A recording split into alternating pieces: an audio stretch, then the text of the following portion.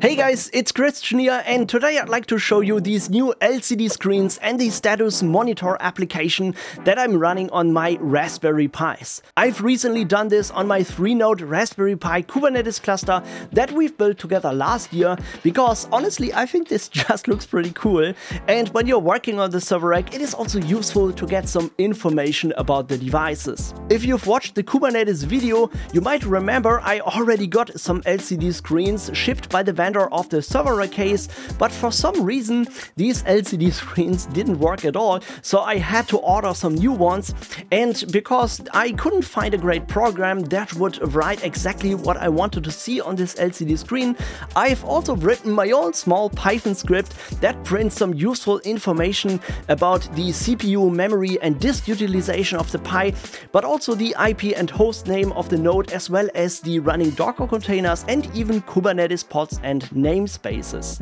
This Python application that I've written is by the way available completely for free as a Docker container, so if you've got a Raspberry Pi and a small LCD screen, you can just download and run it if you like. Of course, in this video, I would like to go through all of the steps you have to do to make this work, so I hope you're gonna enjoy it. However, before we start, I quickly want to show you another cool application that is called Remotly, the sponsor of today's video.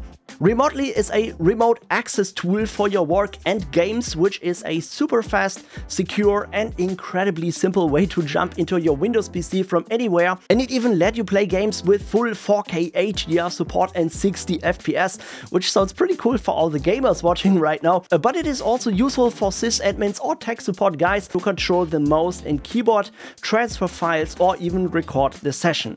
It is super simple to use, so you can just start Remotly on your computer, then it generates a strong connection ID that you can use to connect to this machine, which you might remember from another popular remote access tool, but let me tell you, Remotly has a few unique advantages over similar applications. First of all, it allows you to set up a private relay server so that you can easily self-host in your own infrastructure, and it is also using modern protocols and hardware acceleration like HEVC encoding coding to make the connection really fast, secure and efficient. And the best is for home users, it has a free tier for one remote session and unlimited peer-to-peer -peer transfer in 4K resolution. By the way, for companies that want to use Remotly for supporting their customers, they also have a very cool offering allowing you to manage hundreds of devices and a flexible pay-as-you-go pricing. So if you want super simple remote access, what are you waiting for? Just download Remotly and try it out. Of course, you will find a link to it in the description of this video.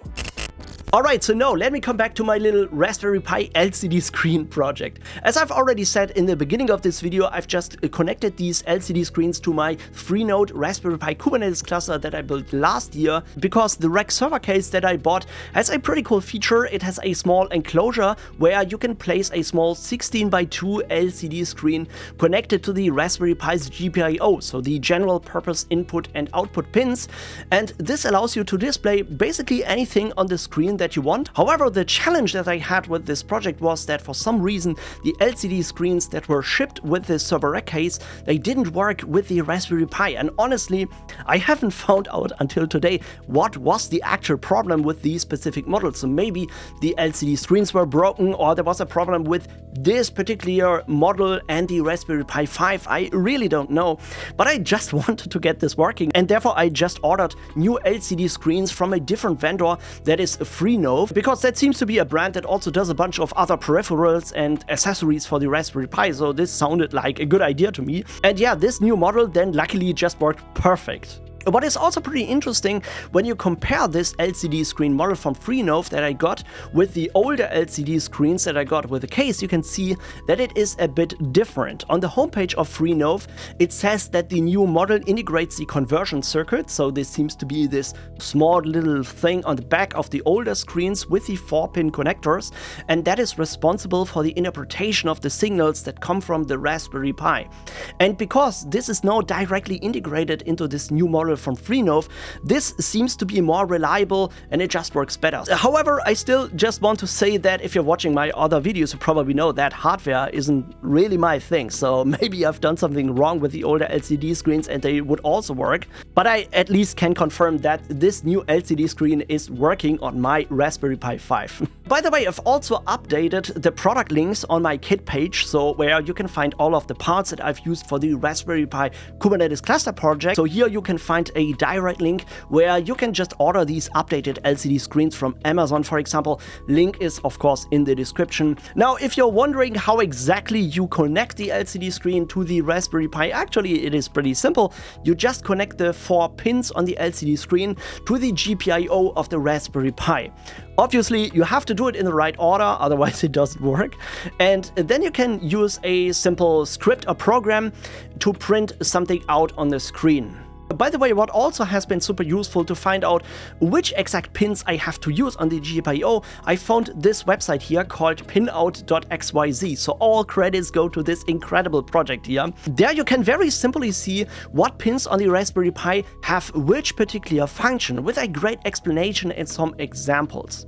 In the case of my LCD screen, I just had to connect the first pin to the 5 volt power and the second one to the ground and the other two ones to the I2C data and I2C clock pin.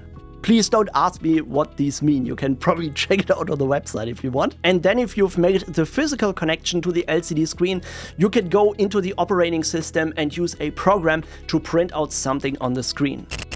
I just want to quickly show you how that's working on my testing Raspberry Pi. So I just open a, a, secure connection over SSH to this Raspberry Pi. By the way, I'm using here the Ubuntu 24.04 LTS Linux operating system. So I'm not using the Raspberry Pi operating system. So maybe some of the commands and packages are a bit different if you're using a different OS, of course. But if you're using Ubuntu, you can basically just follow and install the package i2c-tools. So these are some command line utilities that you can simply use to find out whether the LCD screen has been correctly configured. Before we run this program, you should do an lsmod to find out whether the kernel modules of the I2C packages are correctly loaded. So if this is not the case, uh, you might have to tweak something in the operating system or in the bootloader to load these kernel modules. In my case, this was working in Ubuntu by default, so nothing I had to do. And then you can run the small program I2C detect with a dash Y1. In some older tutorials, I, by the way, have also seen the uh, dash Y0, so that depends on which port or pins you have connected the LCD screen to. But in my case, it is 1. If you see a 27 somewhere in the output matrix of this command, you know that the LCD screen has been correctly uh, connected to the data pins. Uh, so if you connected the wrong pins, you might see a dash dash in that address here, and then you know the physical connection isn't working correctly, so you might have to change the pins and try out something else. If you see that number here, the physical connection is working and now you can use an application or software to connect to the screen using the bus and then print something out on the terminal. So I also want to show you how you can do this and honestly I know there probably is some cool programs you can use here and there but I think the most simple and easy way to print out something on the screen quickly is to use a small Python script and don't worry if you don't know Python by detail so I try to make it very simple so there are just a few lines that you need in Python to make this work. But before we can do that, we first of all need to install two libraries here. First of all, the RPLCD library that will send the right instructions to the LCD screen and the SMBus2 that is also needed for the connection. And you can just simply use uh, pip, the package installer for Python. Uh, I'm using the quick and dirty uh, way to simply install it system-wide. By the way, of course, you can also write a simple uh, virtual environment for your Python script and so on. But I'm not going into Python programming today. I just want to make it uh, simple here. And then we just want to create a new test.py file where we can start writing our Python script. Uh, okay, so the first line we have to write is we first of all need to import the third-party library. So from the RP LCD um, I2C library, we uh, need this here, the character LCD object. And uh, then we want to create a new instance of that object. And here we need to fill in some information about the screen. So first of all, we need to add the I2C expander. So I think this is a model of the LCD screen. I found that the PCF 8574 is the model that I'm using. So this will work for a 60 by 2 LCD screen, the one from Freenove that I got.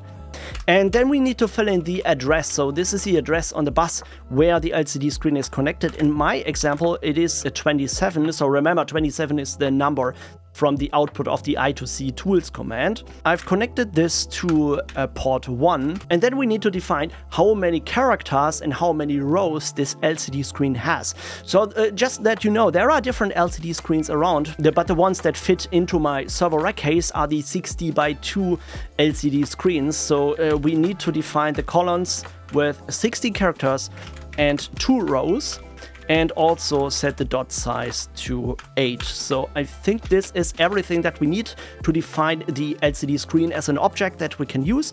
And then we now can use instructions. First of all, I want to execute the lcd.clear function because if you print something on the terminal uh, by another program, that will still remain on the screen even if the program was exited. So if you want to refresh the screen, you always have to do an lcd.clear and then you can start writing something with the lcd.write string function.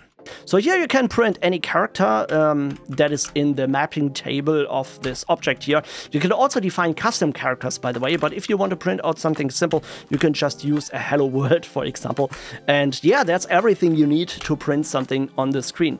So now to run the Python program, you just enter python 3 test.py and run it. And if you've installed everything correctly, you can see hello world is now displayed on the screen. So this is pretty cool, right? And if you're a bit familiar with Python programming, you can basically just write your own Python script to maybe query some information on the operating system, put that in a variable, and then write this uh, variable um, using the LCD write string function and so on.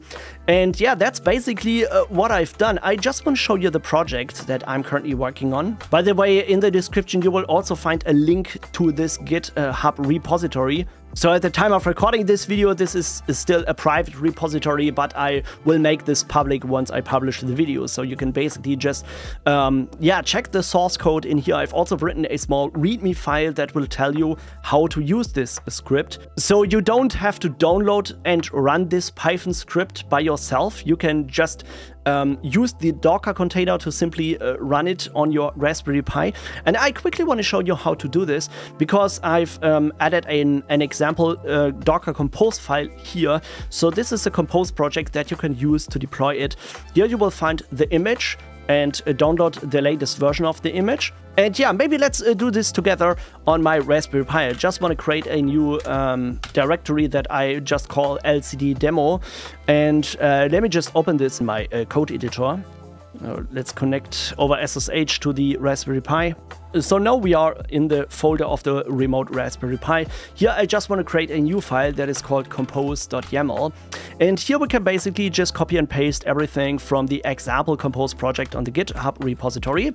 And uh, then we need to pass in a few uh, volumes here. So first of all, this is a file that is only available when you're using a Kubernetes cluster on this Raspberry Pi. So in my Kubernetes project, that has a k3s.yaml kube config file. So in here, there are the credentials located so that the container can connect to the Kubernetes cluster to uh, print out some information about it.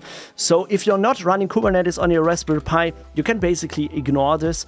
Also, if you're not running Docker on the Raspberry Pi, you can also ignore it. And it can also print out the temperature of the uh, CPU of the Raspberry Pi. So therefore, I need this mount point here. And uh, there's also a configuration file that we have to create. So this tells the Raspberry Pi LCD status monitor, what configuration what monitors it should print out, what is the delay and so on. And we, of course, have to mount the device, the I2C, on port 1, so the LCD screen, to the container so that it can access it and print out some information. And then we start the uh, container automatically if we reboot the system unless it is stopped. So I think this is a pretty simple uh, compose file. If you're familiar with my other Docker tutorials and my videos, you probably know how this is working. If not, I've made some beginner videos about Docker and Docker Compose, so definitely check it out. I'll link you that in the description. But yeah, so um, that's basically everything. Uh, of course, now we still need a config file. So I'm creating a new a directory called config and a new config file, config.yaml. And of course, I've also created an example config file that you can use on the GitHub repository. So here, just copy and paste everything. So this will uh, basically tell the small Python script to run the system monitor. So this will show the CPU utilization and memory. If you don't want it to print the memory utilization, you can set this variable to false if you like. So then it's just printing out CPU utilization, but I usually like to have both, so uh, set this to true. And the disk monitor will print out the uh, disk size and the utilization of the disk. The server info monitor will show the IP address of the ETH0 interface. So in here you can put a different name. If you have a different name of the interface, usually by default it is it is ETH0. So if you uh, run an IPA, you should see the different IP addresses. And maybe if you have a different Wi-Fi uh, IP of the Raspberry Pi that you want to show, give it the name of the WLAN interface, for example. But the ETH0 should be the default. And of course, I want the LCD screen to print out this IP address. So that's um, uh, why I put the corresponding uh, interface name in here. The container monitor will try to connect to the Docker socket that we mount uh, to this container and tries to uh, gather the running and the stopped container. So this will print out some information about that. The temperature monitor will try to read the temperature from this location in here. And the Kubernetes monitor tries to load the kube config file to connect to the Kubernetes cluster and print some information. Technically, you could also give it a different kube config file with a different IP address and so on, so you could connect to a remote Kubernetes cluster and print some information on the screen. Uh, but yeah, I've developed it in a way that it tries to connect to the locally uh, configured cluster by using this uh, config file.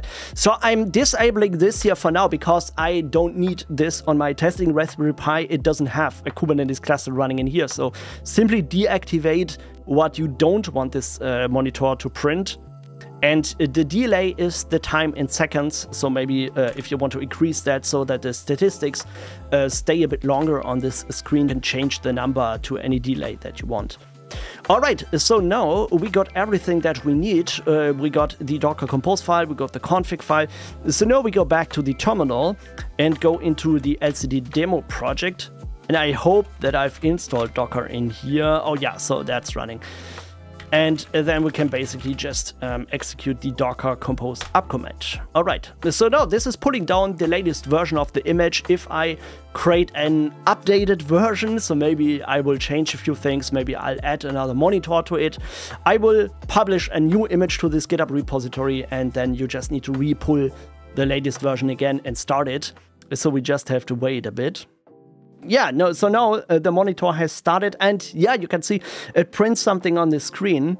So here, for example, you can see the host name, the IP address, and these are the running Docker containers, by the way. So you should also see in the logs if it connected to the Docker client successfully and yeah, if it found one running and zero stopped containers, obviously this is the Raspberry Pi LCD status container that is running on the system. But if you got more Docker containers, it will just show you the numbers of the running and the stopped containers on the system. I think this is pretty cool.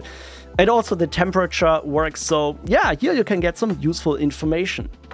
Uh, by the way, this is how it looks in my Raspberry Pi Kubernetes cluster. So here you can see all the three Raspberry Pis display the information that I've configured in the config file.